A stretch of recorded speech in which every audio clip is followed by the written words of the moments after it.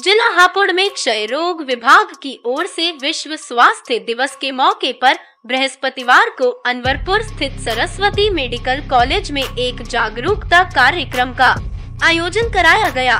कार्यक्रम के दौरान जिला क्षय रोग अधिकारी, डीटीओ डा राजेश सिंह ने एमबीबीएस के छात्रों को क्षय रोग और भारत सरकार की ओर से क्षय रोगियों के लिए चलाई जा रही निक्षय पोषण योजना की विस्तार से जानकारी दी। डीटीओ डा राजेश सिंह ने बताया कि सरकारी या निजी चिकित्सालय में किसी भी क्षय रोगी को उपचार शुरू करने के साथ ही निक्षय पोर्टल पर पंजीकरण करना कानूनन ज़रूरी है। भारत सरकार की इस योजना के तहत क्षय रोगी को उपचार जारी रहने तक हर माह पाँच सौ रूपए का भुगतान उसके खाते में किया जाता है।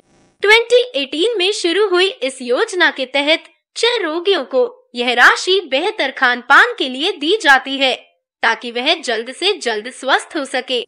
जिला पीपीएम कोऑर्डिनेटर सुशील चौधरी ने बताया, सभी सरकारी स्वास्थ्य केंद्रों पर क्षय रोग की जाँच और उपचार निशुल्क किया जाता है।